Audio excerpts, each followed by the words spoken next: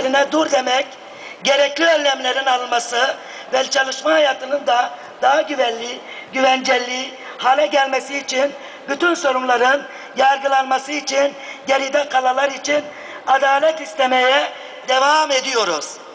Vicdanı olan herkesi her ayın ilk pazar günü vicdan ve adalet nöbetimize destek vermeye davet ediyoruz.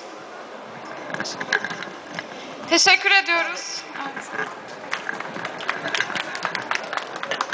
Şimdi öncelikle sizin şunu bilmenizi isteriz ki e, burada bizler, aileler ve her bir ailenin ceza davası sürüyor. Ve biz bu davalarda adalet aramak, adalet arayışında olduğumuz için bugün buradayız.